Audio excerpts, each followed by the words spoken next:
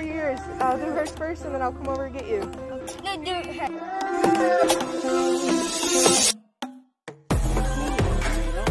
Yeah, that's right. Yeah.